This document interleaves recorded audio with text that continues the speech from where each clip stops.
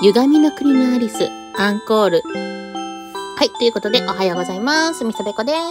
今日も続きをやっていこうと思います。えっと、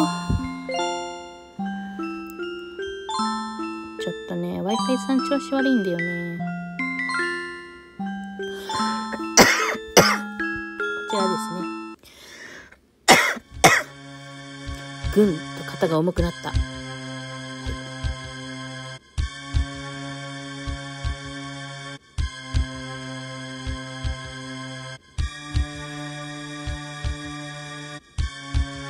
しばらくの間、私は動けずにいた。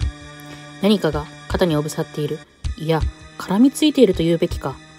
やがて私はぎこちなく足を階段にかけた。誰か、誰でもいい。誰か。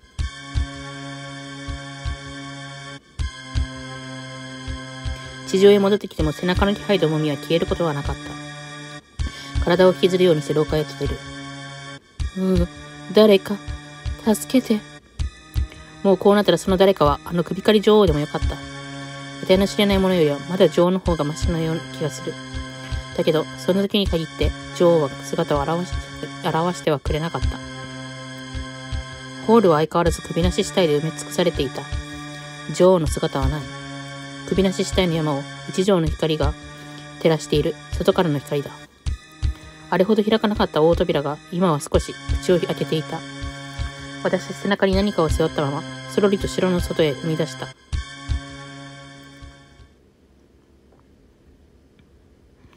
城の前には別れた時のままのにんまり笑顔があった。チェシャ猫チェシャ猫チェシャ猫チェシャ猫の顔を見た途端安心したのか、ぶわっと涙が溢れた。駆け寄りたいけど背中が気になって走るのが怖い。刺激を与えたりしたら首を絞められそうな気がする。私はぐすぐす泣きながら、チェシャ猫に歩み寄った。おかえり、僕らのアリス。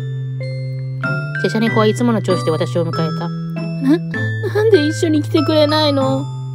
く、首だらけだし、取りつかれるし、もうやだもうやだチェシャ猫は不思議そうに言った。何を泣いているんだいアリス。だって、肩に私は震える指で自分の肩を刺した。勝った？何か乗ってる乗ってるね。ああ、やっぱり何か乗ってるんだ。私は悲鳴のような声を上げた。なんとかしてなんとか。チェシャ猫は緊張感のない顔で私の背中に目を見てやる。嫌い？嫌いだよ好きなわけないでしょお願いだからなんとかしてわめく私にチェシャ猫はそうとうなずくと、私の背中の何かをひょいと抱き上げた。見えない触手が首を、肩をシュルシュルと舐めるようにして外れていく。ようやく肩にかかっていた重みが消えて、私は首のあたりを一生懸命手でこすった。ふふまだ感触が残ってる。チェシャ猫はそんな私を見ながら腕の中に何かを抱え直すような仕草をした。ダメだよ、アリス。えな、何が？唐突な言葉に私は戸惑う。時間くんを泣かせるのは良くないよ。え時間くん？じ、時間くんって何？泣かせるのは良くないって。時間くんは悲観主義者なんだよ。気をつけてあげないと。時間くんって、まさか。私は恐る恐るチェシャ猫の腕の中を指さした。それ？猫はコクッとした。そ、その変なのが時間くんなの？うん。気持ちはわかるよ。そういったチェシャ猫の顔は私ではなく自分の腕の中に向けられていた。腕の中の時間くんと話しているみたいだ。そう？でも難しいと思うけどね。まあ聞いてみようか。アリス。そこでチェシャ猫は私を振り返った。時間くんが殺してほしいって。は、はい？でもアリスには時間くんが見えないみたいだから、うまく急所を狙うのは難しいと思うんだけどね。急所？じんわり死にたいならいいかもしれないけど。ま、待ちなさい。な、何がどうなってそういう話？に一体何の話？だから、殺してほしいんだって。だから、なんでそんな話になってるのよ？アリスに嫌われたから、生きていく気力をなくしたって。せめてアリスの手にかかることが最後の望みだと。手にかく私は口をパクパクさせた。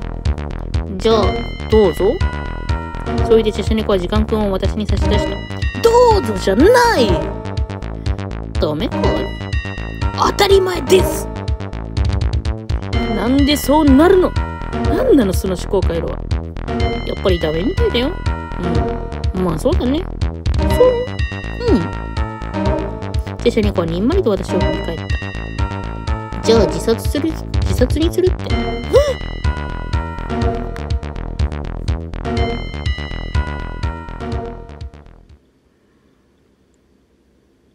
それから小一時間ほどかかって、ようやく私は時間くんの誤解を解き、泣き止ませることに成功した。らしい。らしいというのは、私には時間くんの姿が見えないから。すべてはチェシャ猫からの伝達に頼るしかないので、こんな表現になる。落ち着いたところで、私はすかさず本題に切り返した。あ、あのね、時間を進めてほしいの。公園のバラが眠らないと扉を通れなくて。それに帽子屋と眠りネズミもお茶会を終われないみたいだし。初めて知ったのだけど、見えないものに話しかけるのって結構難しい。独り言言ってるみたいで照れる。自社猫が前を向いたまま小さくコクコクとうなずいている。時間くんが何か喋っているみたいだ。私には見えないし聞こえないので自社猫の動きで想像するしかない。やがて自社猫は腰をかがめて手の中の何かを地面に下ろすような仕草をした。足元をずるりと冷気がなでる。うわ。じ、時間くんだと分かっててもこれは気持ち悪い。じ、時間くん？言ったよ、アリス。お茶会へ戻るって。ほんとじゃあこれでバラの扉通れるようになる？自社猫はにんまりした。さわさわと草陰が風を渡っ、草陰を風、ん？さわさわと草原を風が渡っていく。全然違うじゃん。私にはもう時間くんがどこにいるかさっぱりわからない。ほうと息をつくと、軽く恨みを込めて猫を見上げた。時間くんは見えないって先に教えといてくれたらよかったのに。見えるよ。あなたにはでしょ？ねえ、時間くんってどんな姿してんの？珍しくチェシ猫は少し悩んだようだった。例えて言うなら、蝶に似ている。蝶？蝶々？それなら結構可愛いかも。でも型に乗っかった感触からはそんな風には。人間の蝶。聞かなきゃよかった。そして見えなくて本当によかった。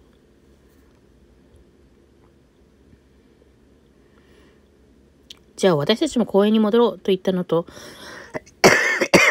シャ猫が私を突き飛ばしたのはほぼ同時だった。頬が強く土をこすった。驚いて顔を上げると長く伸びた草の向こうで、鮮やかな赤い霧がしぶくのが見えた。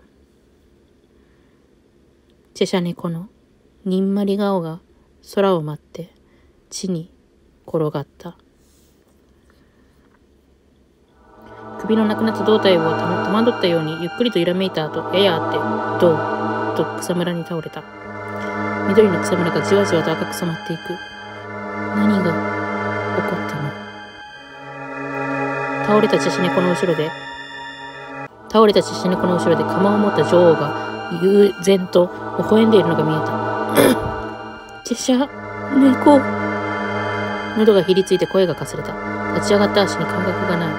駆け寄ろうとして顔頭と体、どっちに行くべきか困ってしまった。こういう場合、どっちがチェシャ猫？頭？それとも体？ほんの少し迷ったけど、私は頭の方に向かった。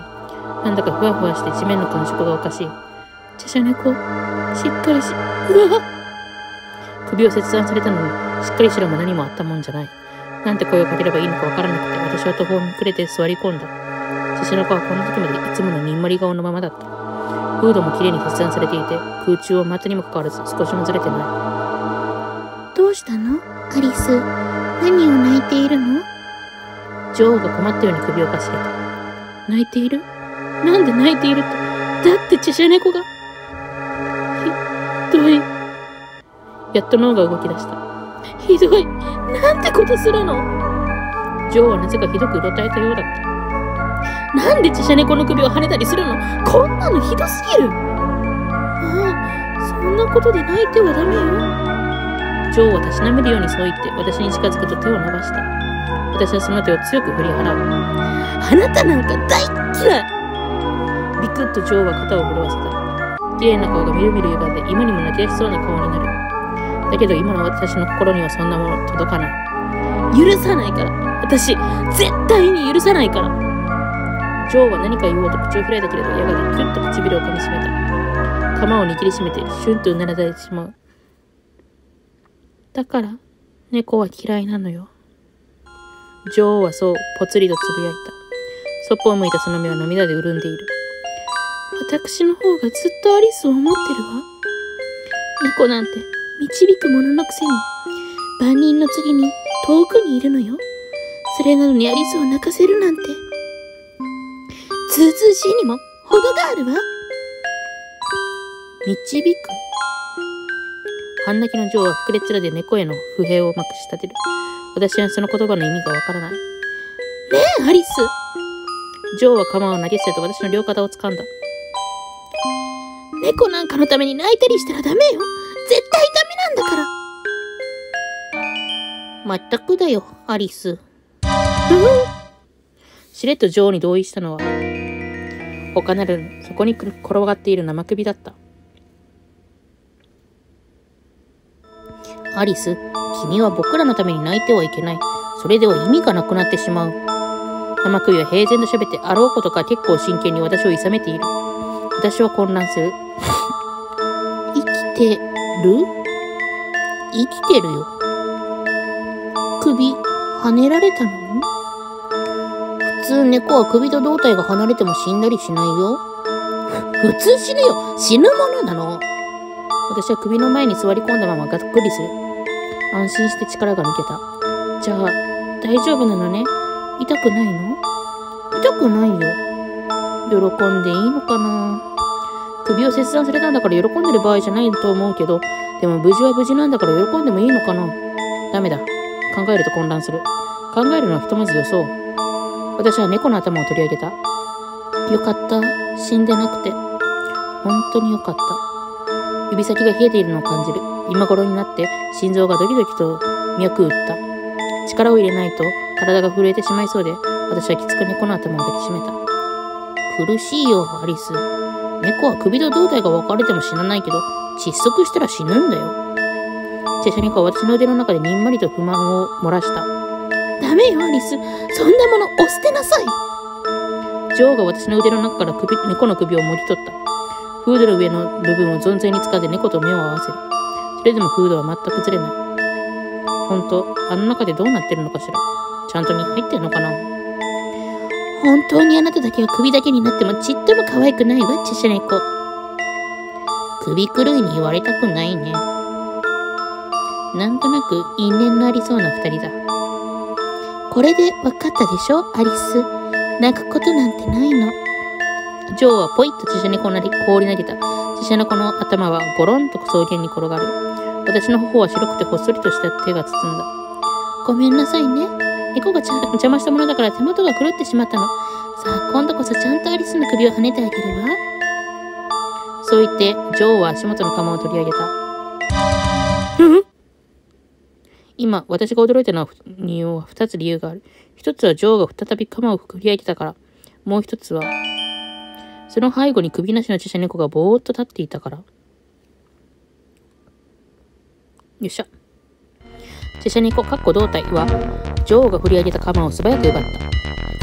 何するのよ？猫女王は抗議したけど、チェシャ猫、かっこ胴体は反応しない。途方に暮れたように無謀とそこに立っているだけだ。聞こえないよ。体には耳がないからね。少し離れた場所で画面から土にめり込むようにして転がっているチェシャ猫かっこ頭が他人事のように言った。お返しなさい弾を奪い返そうとジョーが手を伸ばすと、チェシャ猫かっこ胴体は突如としてものすごい勢いで走り出した。ど、どこ行くの？耳のない胴体には私の声もまた届かない。チェシャ猫かっこ胴体は鎌を持ったままものすごいスピードで駆け抜けると、あっという間に後ろの裏手の森へと消え去ってしまった。お待ちなさいもう、だから猫は嫌いなのよ悪態をつきながら女王もまたドレスを翻して森へと消えた。行っちゃった。行ったね。女王に放り投げられたままの状態でチェシャ猫かっこ頭が言った。私は頭を膝の上に拾い上げると顔についた土を払ってやるいい。いの？あなたの体、行っちゃったけど。私はもう一度森を見合った。もう二人の姿は見えない。自由にさせておやり。体はいい加減。頭の言うことを聞くのにうんざりしてるんだよ。のんきなことを言って。チェシャ猫、体ないと困るでしょ？チェシャ猫はにんまりした。まあ、大したことでもないさ。そうかな私は自分の腕に巻いてあったナプキン包帯を外すと、チェシャ猫の首に巻きつけた。止血のためじゃない。首の断面はさすがに刺激が強すぎるので目隠しのためだ。血の流出は止まっていたし、そもそもこの状態で止血することにあんまり意味はないと思う。生首だし。うん、これでいいかな。私はチェシャ猫を掲げて包帯のし、包帯の縛り具合を確かめた。草原を渡る風にフードがわずかにそよぐ。風にそよぐのに絶対釣れたりしないのよね。そういえばチェシャ猫の顔でちゃんと見たことないな。私のチェシャ猫の顔に垂れ下がったフードの先っちょをそっとつまんだ。そろそろと上に引っ張る。アリス。はい。思わず声が裏返った。チェシャ猫はいつもの口調で淡々と告げる。見たら二度と戻れないよ。それでも見るかい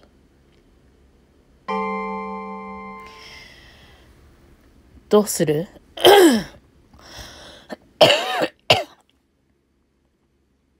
私このエンド知ってるんだよね。このエンド知ってるんだよ。だから、見ちゃいけないことは知ってるんだよ。めっちゃ記憶にあるもん。見ない。好きだけどね。好きだけどね。私はフードから手を離した。見ないのかいまるで誘うようにチェシャ猫が問いかけた。見ない。だってもしチェシャ猫が絶世の美男子とかだったら、私困る。すごい困る。見なくていいものなら見ないままでいい。私は今のままの猫で何の何も不安はないのだから。たとえそのフードの下にどんなに深い闇が潜んでいようと。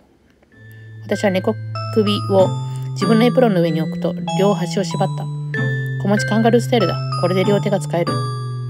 どうして口、どうしても口が隠れてしまうので多少息苦しそうではあったけど、我慢してもらうことにする。さて、と私は立ち上がった。じゃあ公園に帰ろうか。そう言って私は石畳の小道を戻ろうと繰り返って足を止めた。白は浜から続く坂の上に立っているため、ここから赤い海が一望できる。果ての見えない赤い血の海。大変。私は海を眺めてつぶやいた。どうやって帰ったらいいの？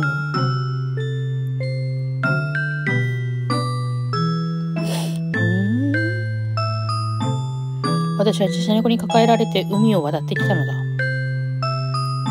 首だけになってしまった猫では、私を運べない。く道は一つでも帰る道は一つじゃないよ。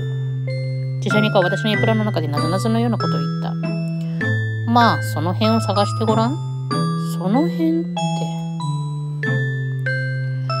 非常に曖昧な助言に私は城を振り返った。城の右手と左手にそれぞれ森へと分けている細い獣道が見える。どっちか行ってみる？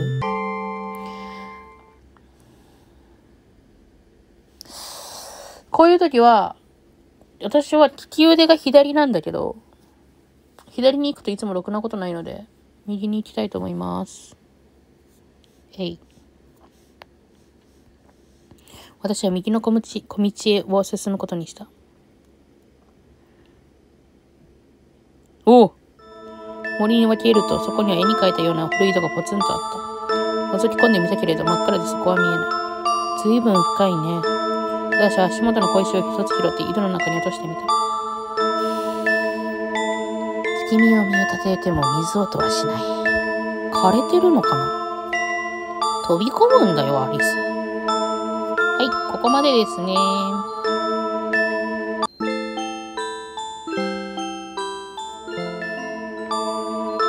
セーブしましょう。ちょっと待ってくださいね。よいしょ。はい、これでセーブが完了しました。次回、古井戸に飛び込むですね。いやー、ちょっと女王陛下を負けたのは嬉しいけど、ちょっと猫の首と生活するのかい？これから。うーん、猫の首大丈夫かな？この先が不安だな。猫の体が欲しい。というわけで、本日の動画はここまで。みさぺこでした。またね。バイバーイ。